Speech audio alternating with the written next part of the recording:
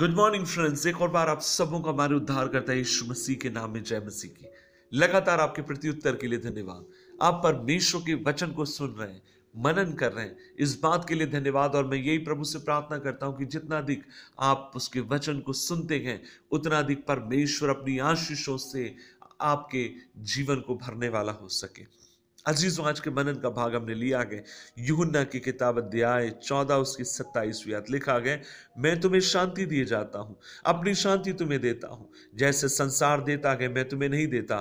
तुम्हारा मन न व्याकुल हो और न डरे। अजीजों, यहाँ पर दो प्रकार की शांति के विषय में प्रभु यीशु मसीह ने कहा। प्रभु ने कहा, संसार जैसी देता, मैं नहीं देता। इसका मतलब यह है, कहीं ना कहीं संसार भी आपको मुझे शांति दे सकता है। मैं इस बात पर विश्वास करता हूँ कि जो कुछ प्रभु देता है, ठीक उसकी नकल संसार करता है। अगर प्रभु हमसे प्यार करता है तो संसार भी हमसे प्यार करने का दावा करता है। यदि प्रभु हमें सफल करता है तो संसार भी हमें सफल बनाने का दावा करता है। और यहाँ पर संसार दावा करता है कि मैं तुम्हें अपनी शांति से भर सकता हूँ। लेकिन संसार की शांति क्या है? अज़ीज़, उस संसार की शांति चीज़ों में है, अचीवमेंट में है। बहुत बड़े स्पोर्ट्स प्लेयर का मैंने एक बार इंटरव्यू सुना। और उससे कहा गया कि आज जब आप इतनी ऊंचाइयों पर पहुँच चुके हैं तो आपको क्या महसूस होता है?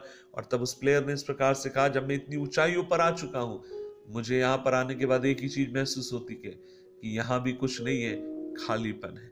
अजीजों, मैं आपसे बोलना चाहूँगा, जब दुनिया की शांति के पीछे आप और मैं भागेंगे, कहीं ना कहीं पर वो खालीपन को आपको मुझे लगातार देती चली जाएगी। लेकिन जो व्यक्ति प्रभु की शांति की खोज में रहता है, दो चीज़ें उसके साथ कभी नहीं होगी। पहली बात, उसका मन कभी व्याकुल ना होगा और दूसरी बात, उसके भीतर कभी डर नहीं होगा। यह प्रभु की शांति का प्रतीक है। आप कितनी भी बात कर लीजिए, मुझे आपकी बात पर कोई विश्वास नहीं। लेकिन अगर आप जानते हैं, आप अगर कोई मुझसे कहता है, पास्टर जी, प्रभु की शांति मेरे अंदर है, मैं कैसे जानू? आप व्याकुल नहीं होंगे। आप डरेंगे नहीं। प्रभु यीशु मसीह ने अपने वचन में कहा, क्या आज आपको डर लगता है? क्या आज आप व्याकुल हैं? हम सब व्याकुल होते हैं, हम सब डर जाते हैं, लेकिन मैं व्याकुल और डर होने की कहने का मतलब यह है कि क्या आप उसमें लगातार पड़े हुए हैं?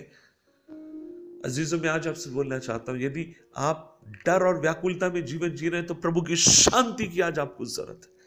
और जब प्रभु की शांति एक व्यक्ति के जीवन में आती है, अजीजों, उसके जीवन को बदलने के लिए सामर्थ्य है।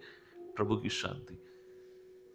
आज इस अशांत भरी दुनिया और उसके वातावरण में हमें प्रभु की शांति की ज़रूरत है। पाँच साल की उम्र में मैंने अपने पिता को कैंसर से खो दिया। उनका देहांत हो गया। मैं और हम, हमारे चार भाई बहन हम लोग अनाथ हो गए। मेरी माँ ने और मेरी बहन ने मिलकर हम भाई बहनों हमको पाला। हम तीन भाई थे, एक बहन थी, बड़ी बहन। मेरी बड़ी बहन और माँ ने मिलकर हम तीनों भाइयों की परवरिश करी। लेकिन अजीजों, मेरे पिता के मरने के बाद मैंने कभी भी अपनी माँ के चेहरे पर खुशी नहीं देखी। आनंद नहीं देखा। वो बार बार मरना चाहती, आत्महत्या करना चाहती। एक दिन किसी ने उसको यीशु मसीह के बारे में बताया। उसे प्रभु को उद्धार करता, जानकर स्वीकार किया। उसके एक हफ़्ते के बाद उसने प्रभु यीशु मसीह के नाम में, पिता, पुत्र, पवित्र आत्मा के नाम में उसने बपतिस्मा लिया और वो घर आई। उन दिनों में मैं और हम लोग तीनों भाई हम लोग बेकरी में काम करते थे और रात के समय लगभग शायद बारह बजा होगा और हम लोग काम करके घर पे वापस आए। और मैं देखता हूँ, मेरी बड़ी बहन घर के बाहर बैठ के लगातार रो रही है, उसका नाम साधना है। और मैंने अपनी बहन से पूछा, क्यों रोती और तब वो कह लगी, किशोर, माँ पागल होगी? मैंने बोला, क्यों? कह लगी, पता नहीं, आज कहीं ईसाइयों की मीटिंग में गई थी और वहाँ से जब से वो आई है, अजीब सी बात कर रही है। लगातार उसके चेहरे पर हँसी है। पता नहीं, किशोर, मुझे लगता माँ पागल हो गई, उसे बाहर का दरवाज़ा बंद कर दिया और वो चुपचाप बैठकर, बाहर बैठ के रोने लगी। मुझे लगा माँ पागल हो गई हम लोग उन दिनों में झोपड़ी में रहा करते थे और मैं आपसे बोलना चाहता हूँ, सामने का दरवाज़ा मेरी बहन बंद कर चुकी है, ताला लगा चुकी है और मैं जब खोल रहा हूँ, वो मुझे रोक रही कह रही नहीं खोलना, माँ पागल हो गई। मैं पीछे के दरवाजे से खोलते हुए मैं अंदर गया। अजीजों, मुझे आज भी याद है। मेरी माँ पलंग के ऊपर बैठी हुई थी और प्रभु का धन्यवाद दे रही थी। मैं भी उस समय समझ नहीं पाया। और जब उसने मुझे देखा, मुझे आज भी याद है, उन दिनों में हमारे यहाँ लाइट नहीं थी, दिया जल रहा था। लेकिन उसका चेहरा रोशनी से भरा हुआ था। उसने मेरी ओर अपने दोनों हाथ कर कर कहा किशोर मैं अपनी ज़िंदगी भर रोई हूँ, लेकिन आज प्रभु मुझसे कहता है कि मेरी शांति मैं तुझे देती हूँ, देता हूँ। मेरी बेटी, तू हंस। अब से तेरे आंसुओं को मैं पहुंचूँगा अब से तेरे डर को और व्याकुलता को मैं दूर कर दूँगा। अजीजों, प्रभु की शांति ने लगातार उसके जीवन को घेरे रखा। 2012 में उस दुनिया को छोड़कर चले गए। प्रभु ने अपने समय में उसे बुलाया, वो अपनी दौड़ पूरी कर कर चले गए। पहली मिट्टी थी, मसीह मिट्टी, जो हमने अपने परिवार में दी। कई सैकड़ों की तादाद में वहाँ पर लोग थे, और कई ऐसे भी तमाम रिश्तेदार और दुनिया भर के तमाम लोग वहाँ पर थे।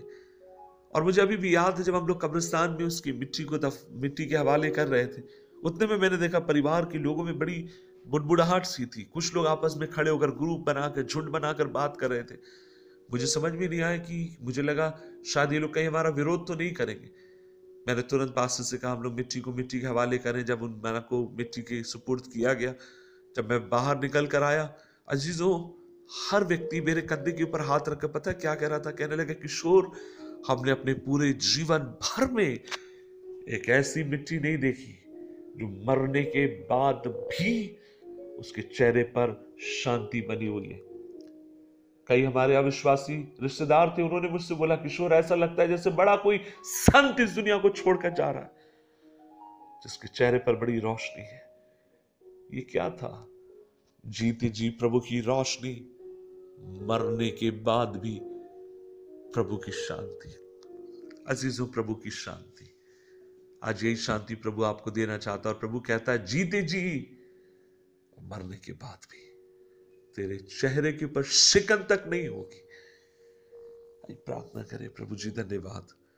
अनुग्रह दे और इस शांति के लिए धन्यवाद। यीशु मसीह के नाम में। आमीन आमीन।